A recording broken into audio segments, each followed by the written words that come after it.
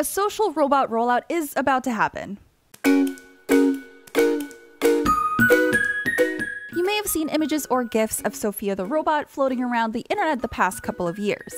Now, the company behind her is getting ready for a mass rollout of humanoid robots by the year's end. Hong Kong based Hanson Robotics hopes the first batch of robots will be ready by the middle of the year, buoyed by new opportunities created by the current COVID 19 pandemic.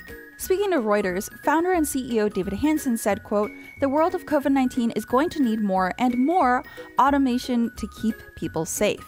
So, how can a slightly creepy humanoid robot help amidst a global pandemic? Part of it is the social aspect. There are thousands of patients in isolation at hospitals that are essentially deprived of human interaction, aside from healthcare workers. Hanson explained, quote, Sophia and Hanson robots are unique by being so human-like. That can be so useful during these times where people are terribly lonely and socially isolated. Basically, these robots with their advanced AI and human-like appearance can give patients someone to talk to.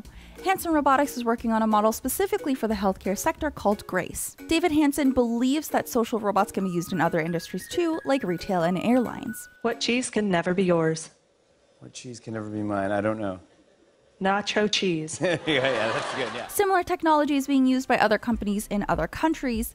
In China's Wuhan province, which is seen as the birthplace of the current pandemic and was hit especially hard by COVID 19, robotics company CloudMind established a field hospital run by robots. So, what do you think? Is this the next logical step in the field of AI and robotics, or the prelude to Skynet? Honestly, I don't like robots, so I'm gonna go towards the latter. Let us know in the comments, and we'll see you on the next IGN Now.